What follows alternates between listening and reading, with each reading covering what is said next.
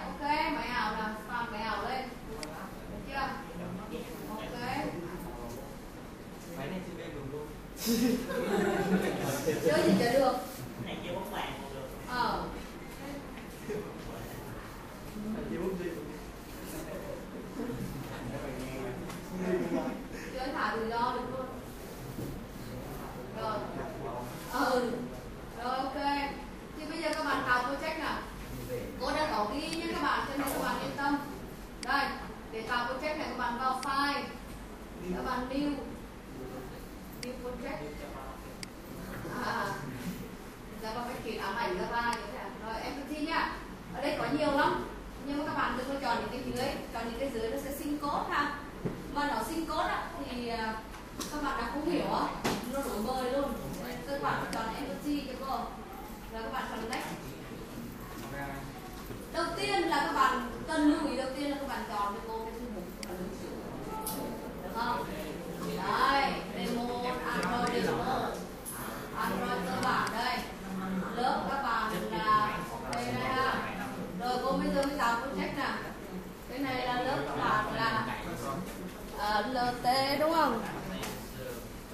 LT 15306 demo ok. À, rồi các bạn chọn à, nhìn nào. Ờ à, đúng rồi.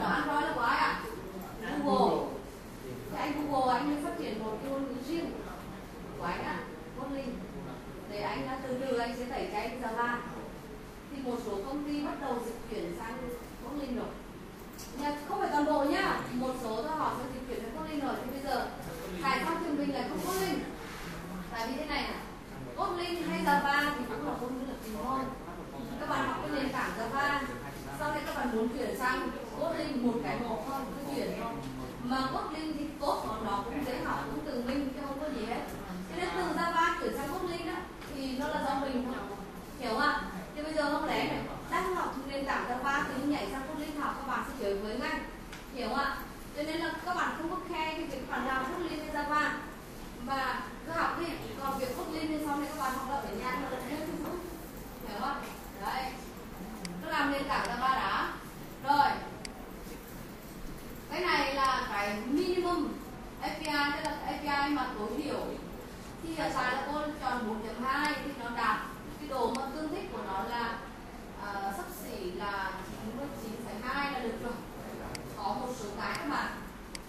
cái cái cái cái plugin không một số cái tính năng hoàn cài vào á mà cái version thấp quá cũng nhiều nó phải là đòi 15 17 hiểu ạ? Đâu nó bảo cái lỗi là cái này phải thấp nhất là 17 thì nó mới chạy còn phải nâng cái này lên. Thì các bạn cài, xong cái này thì các bạn sửa được nhá. Cái này là các bạn cứ tròn đi sau này các bạn lối các bạn fix được. Hiểu chưa? Rồi rồi đây các bạn thấy nè nó có là use android x. Có nghĩa là hiện tại là ta đang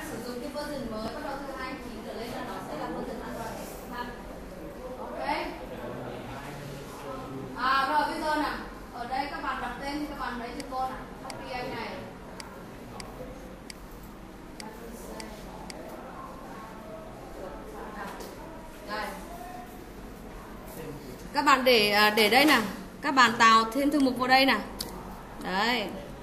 Nó hết lỗi nha. Rồi. Sau đây các bạn chọn finish.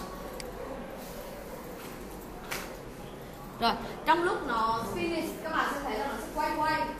Chỗ này nè đấy có chỗ mà to process running này nè thì nó đang chạy cái Gradle à nó đang chạy chứ các bạn phải đợi nó chạy hết thì mới xong nó chảy hết thì mới ok. Cô tắt bớt một cái đi nhé các bạn. Hiện tại nó đang mở hai cái android nè. Cô tắt bớt một cái đi. Đấy. Thì các bạn phải chờ nó chảy xong đã. Hiện tại nó chảy chưa xong. Đấy nó đang đi nó đang đau về một số cái là nó đau về nè. Và nó nó chảy như nó chảy theo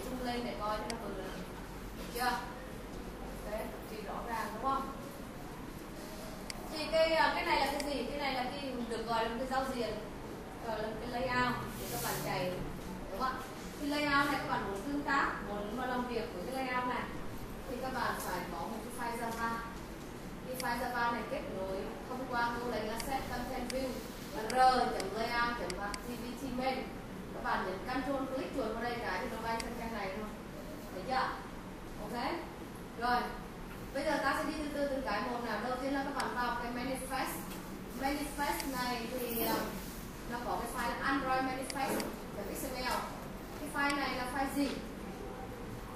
File này là file cấu hình. Một số cái uh, tính năng ví dụ như là uh, permission này đúng không ạ? Hay là file có activity này. Cái này của ta được gọi là một cái activity. Thì các bạn phải được tên của nó là main activity. Thì là được khai báo đây là thế không? Thấy chưa? Phải khai báo đấy mới chịu. Khai báo không khai báo là nó lỗi ngay.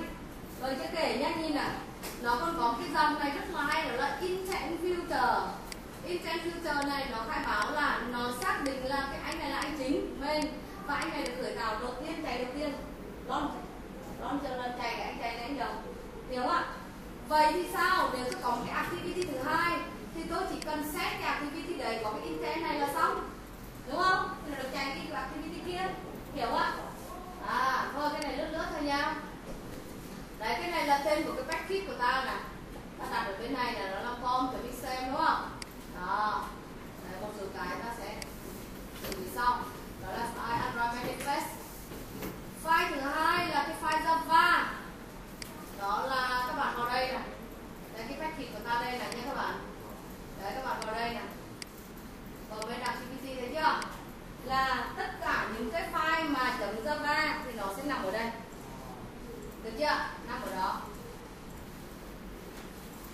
cho mai thì ra khỏi lớp không ngồi tại mày dễ sợ rồi ok thấy chưa rồi cái này là à, Java này nằm ở đây rồi tiếp nha à, cái này uh, generated là nó từ sinh từ sinh thì đừng quan tâm khi từ sinh nó có cái file gọi là file r mà tôi kiếm không ra cái file r nó nằm ở đâu á bên kia nó thấy cái này không thấy cái file r này các bạn thấy cái này là một file các bạn cái r r là cái tắt của từ resource resource resource resource là sai yeah.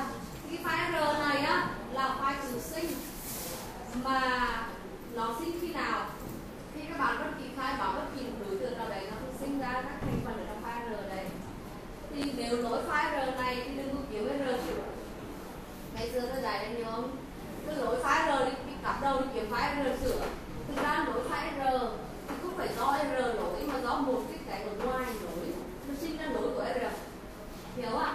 Bởi vì r tự sinh bao nhiêu không? Xóa luôn r copy một cái file r ở nơi khác vô chậm lẫn lỗi ngay. Vì file này tự sinh. File này tự sinh. File r này nè. Rồi cái resource nó gồm cái gì nè các bạn? Cái thư mục này quan trọng lắm nè. Nó gồm mấy thư mục nó nhiều hơn cái này nữa nhưng mà nó sinh ra các bạn bốn thư mục thôi. Nhưng sau này các bạn có thể bổ sung thêm rất nhiều thư mục khác cái này gọi là resource đó là à, cái phần tài nguyên cái trà ok ba lần nhanh nè buổi sắp hết giờ mấy đó? Rồi cái uh, draw này, này các bạn drawable này nè drawable này nè. Thì nó chứa tất cả những gì liên quan đến hình ảnh. Các bạn thì có đuôi XML nhưng mà thực chất có hình đấy. Hiểu không hình ảnh nhá. Rồi bitmap này cũng là hình luôn. Thì cái bitmap này sau này nó mới sinh ra, tức là khi mà có cái Android Studio nó mới sinh ra thực ra là nếu các bạn làm cái một cái tool khác thì là không có cái mục này đâu, mà drawable thôi. Thế nó rồi, cái thư mục thứ hai, thư mục rất là quan trọng, đó là thư mục layout. Thư mục layout này là cái cái mà ta vừa biết thấy không layout nó thiếu đây. Ok. Thư mục thứ ba là thư mục value thư mục value nó chứa liên quan đến CSS nè à? Color là chuỗi nè khai báo các cái hằng số chuỗi. Nhá. Không khai báo thì cũng chả sao. Khai báo không mình sử dụng cũng được. Style CSS nè sau này ta sẽ có một bài ta học về style trong cái Android uh, đầu tiên Android. Có thảo về style này. CSS còn nếu mà trong quản lý học các tôi có thể bổ sung những chỉ các bạn là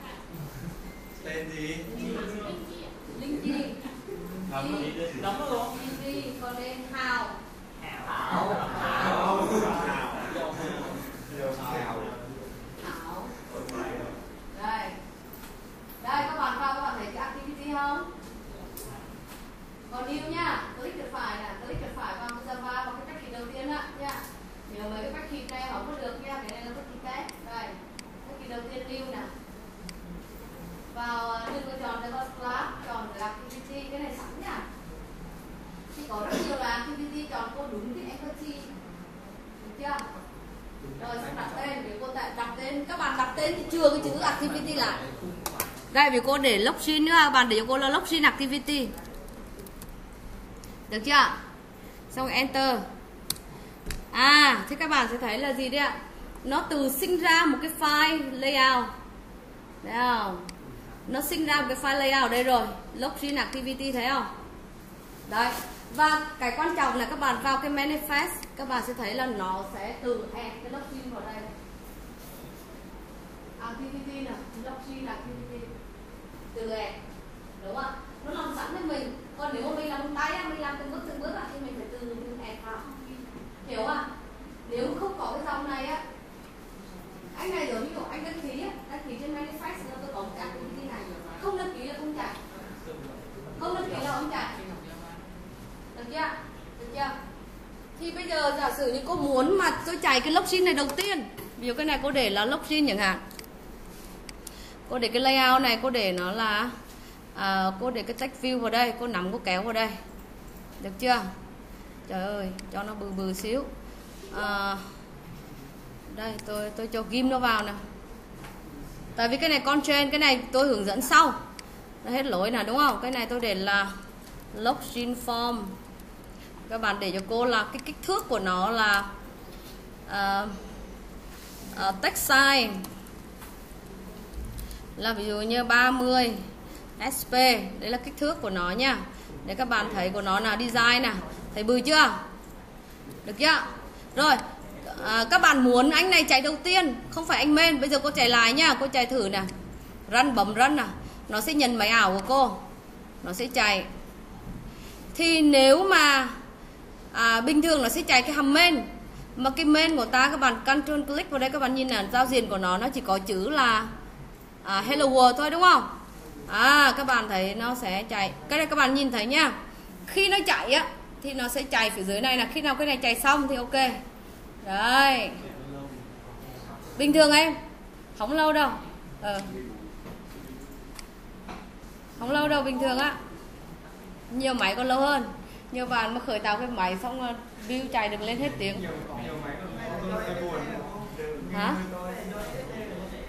Ờ, à, SSD nó sẽ góp một phần nó nó giúp các bạn chạy SSD nó quan trọng lắm.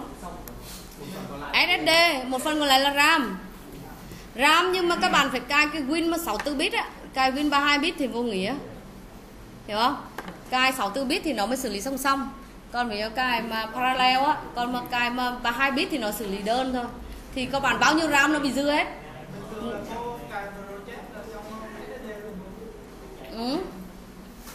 100% FSD mà.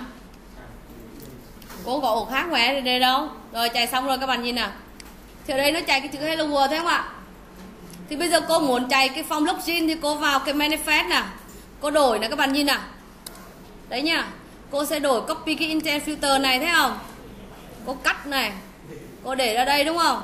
Thì có phải là cô sẽ set anh blockchain này main Và anh này là launcher đúng không? Lưu lại nè cô run lại nè nó nó sẽ xác định là một cái activity nào chạy đầu tiên. Đúng không ạ? Thì cô chỉ muốn cho login chạy đầu tiên thì cô sẽ đổi về thôi. Thì ông login này ông chạy. Đó thấy chưa login form chưa? Ok? Đấy.